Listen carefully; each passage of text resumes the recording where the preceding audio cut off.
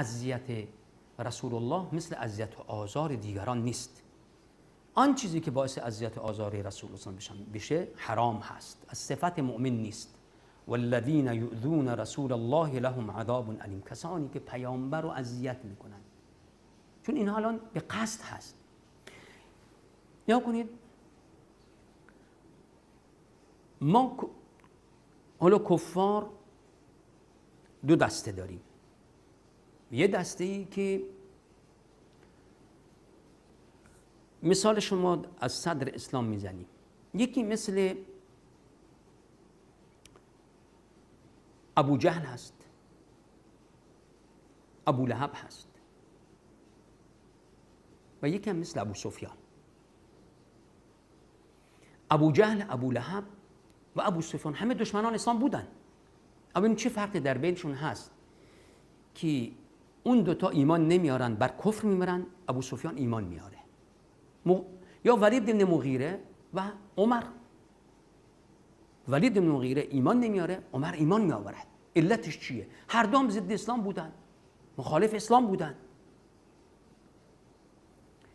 کاری که ابو جهل ابو لهب ولید ابن مغیره می‌کردن به اضافه دشمنی که با پیامبر داشتن دروغ بستن بر پیامبر بود. استهزای از رسول الله صلی الله علیه وسلم بود.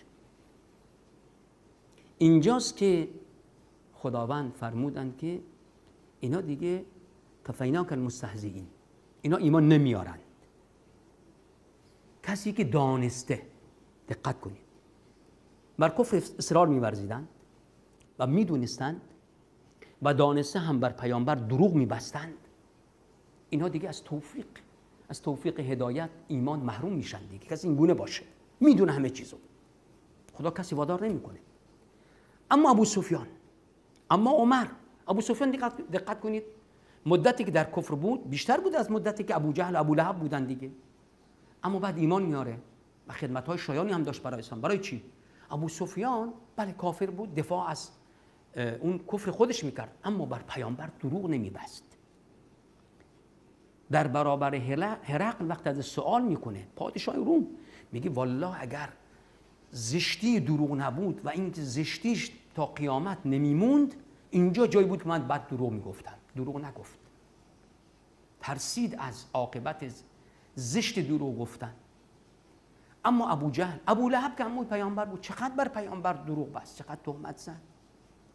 پیامبر رو متهم به جنون و دیوانگی و فلان فلان. افترا بستنی بر پیامبر بود. ولید ابن مغیره خب وقتی حق و دونست آیات قرآن شنید پیامبر بر او قرآن خوند بعد نهایتا چه گفت؟ این هذا الا سحر یؤثر این هذا الا قول البشر.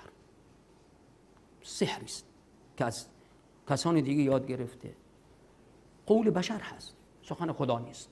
افترا بستن بر خدا و بر پیامبر. اینها عذاب دردناک خواهند داشت. می‌بینیم اما عمر انسان خشنی بود تند بود در دفاع از کفر. اما انسانی نبود که بیاد دروغ ببنده. بر رسول الله صلی الله علیه و هدایت مییابد. الان هم در عصر حاضر چه اومدن فیلم درست کردن بر علیه رسول الله؟ بعد همین فرد مسلمون میشه. فیلم درست می‌کنه در دفاع از رسول الله صلی الله علیه و سلم.